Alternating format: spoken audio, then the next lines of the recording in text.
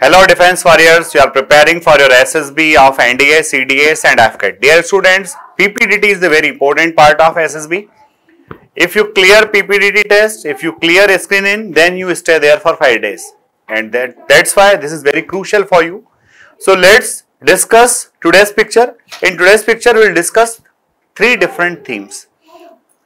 पहली थीम में जो बंदा करेगा वो डेफिनेटली फेल हो जाएगा दूसरी थीम जो करेगा उसके जाने के चांसेस 50-50 होंगे और जो बंदा थर्ड थीम करेगा, वो डेफिनेटली स्क्रीन इन हो जाएगा। तो क्या आज का हमारा पिक्चर है and what were the themes वो हम डिस्कस करते हैं यहाँ पर। आइए देखिए। पिक्चर में बिल्कुल क्लियर कट आपको दिख रहा है। यहाँ पर आप पिक्चर जब ऑब्ज़र्व करेंगे, बच्चों, कई बार बच्चा पिक्चर को ठीक से ऑब्ज़र्व नहीं करता है। और उसने देख लिया कि एक पर्सन कोई someone is sitting and other are standing अब ये someone is sitting and other are standing यहाँ तक तो सब ठीक है। ठीक है नंबर ऑफ़ कैरेक्टर्स भी काउंट कर लिए। One two three four five six seven eight तो उसने कह दिया नंबर ऑफ़ कैरेक्टर्स कितने हैं? Sir number of characters eight है, ठीक है? बट आप इसमें देखिए here is return employment exchange यहाँ क्या लिखा है? एम्प्लॉयमेंट एक्सचेंज लिखा है। और यहाँ पर क्या लिखा है? रोज़गार कार्यालय लिखा है। तो आपको इस पिक्चर और पिक्चर के अंदर लिखे वर्ड्स को थोड़ा सा कोरिलेट करना है, ठीक है? अब पहली थीम जो बंदा लिखेगा ना, वो पहली थीम वाला बंदा क्या करेगा? जिसको फेल होना है। वो डायरेक्टली कहेगा कि रोज़गार कार्यालय में एम्प्लॉयमेंट ऑफ़िस में बड़ी भीड़ हो रही थी। ठीक है? वो बड़ी भीड़ हो रही थी, मैडम एकदम से निकल करके बाहर है, उन्होंने डांटा सबको कि you bloody fool you don't have manners तुम लोग लाइन में क्यों नहीं आते हो? और उसके बाद सारे लोग लाइन में खड़े हो गए और काम ठीक से चल पाया। बच्चों, ये थीम मत लिखना गलती से सुसाइडल अटेम्प्ट ठीक है? अब आइए दूसरी पिक्चर की तरफ़ तो दूसरी पिक्चर में हम लोग देखते हैं कि मोहन जो है, मोहन जो है, वो एम्प्लॉयमेंट ऑफ़िस जब जाता है तो वहाँ देखता है कि बहुत भाड़ लगी हुई है और उस भीड़ भाड़ को देख करके वहाँ लोगों को समझाता है। क्योंकि वो जो क्राउड था वो स्टूडेंट्स का मोब था वो था गवर्नमेंट जॉब की आ, को लेकर के कि वो लोग चाह रहे थे कि उनको गवर्नमेंट जॉब मिले उसके लिए वो आवेदन कर रहे थे। मोहन वहाँ जाता है और उनको पूरा ज्ञान बांटता है कि भाई देखिए आप इतने सारे लोग हो सबको तो गवर्नमेंट जॉब मिल नहीं सकती है। इसलिए you should also try for the private sector और वो लोग प्राइवेट सेक्टर की तरफ़ भी प्रिपरेशन करते हैं मूव करते हैं कोशिश करते हैं और some of them get private sector job तो यहाँ ठीक है कि भाई स्टोरी जो है वो कहीं ना कहीं इस तरह से शुरू हुई है कि लोग गवर्नमेंट जॉब की तरफ़ जा रहे थे। मोहन ने थोड़ा अपनी कन्विंसिंग पावर से लोगों को कन्विंस कर लिया, उसने रोज़गार कार्यालय को भी इंक्लूड कर दिया और लोग उसके लिए तैयार भी हो गए। अब आती है आपकी systematically fantastic story the theme number three theme number three में क्या होता है बच्चों?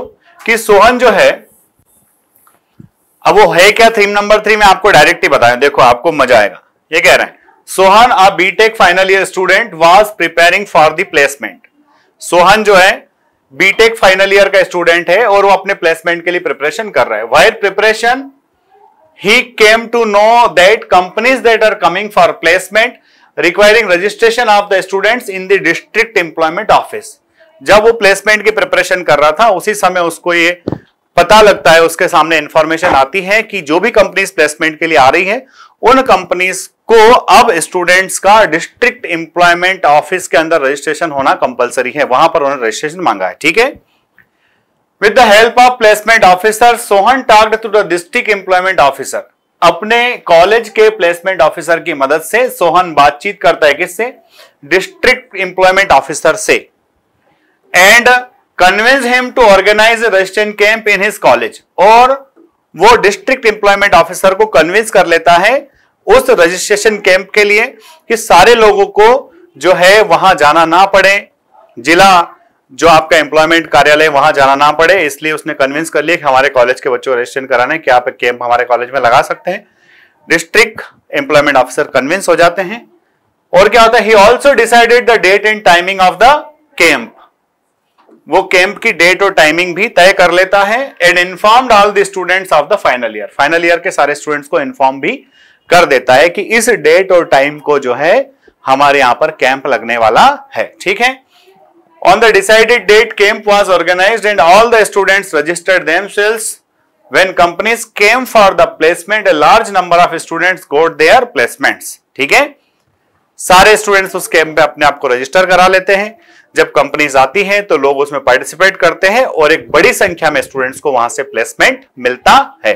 तो देखिए, यहाँ पर सोहन के प्रेजेंस ऑफ़ माइंड की क्वालिटीज भी समझ में आ रही है, साथ में उसकी ऑर्गेनाइजिंग एबिलिटी और किस तरह से वो लोगों के लिए कोऑपरेट करके, लोगों के लिए रास्ते को आसान बना सकता है, ये सारी बातें आपको आज की पीपीडीटी में सीखने को मिली होगी।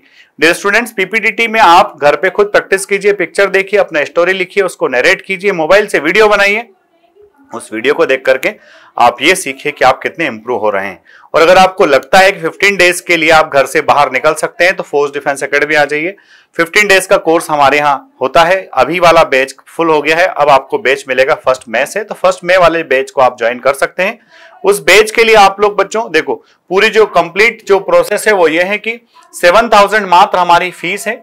इसमें हम लोग वन मंथ का वैलिडिटी देते हैं बच्चे को। थर्टी डेज़ बच्चा रुक सकता है सेवन थाउज़ेंड फ़ीस में और हमारा हॉस्टल का चार्ज जो है पाँच हज़ार पाँच सौ रुपया। यानी कि टोटल बारह हज़ार पाँच सौ रुपये में बंदा एक महीना एसएसबी इंटरव्यू की तैयारी कर सकता है।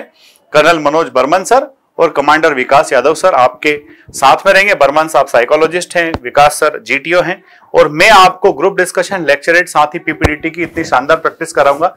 वो प्रैक्टिस कितनी शानदार होगी, आप लोग ऑलरेडी यूट्यूब पर देख ही रहे हैं। साथ ही साथ अगर आपको वीडियो अच्छा लगता है तो इसको लाइक शेयर सब्सक्राइब करना ना भूलें। जय हिंद, जय भारत इंकलाब जिंदाबाद, भारत माता की जय।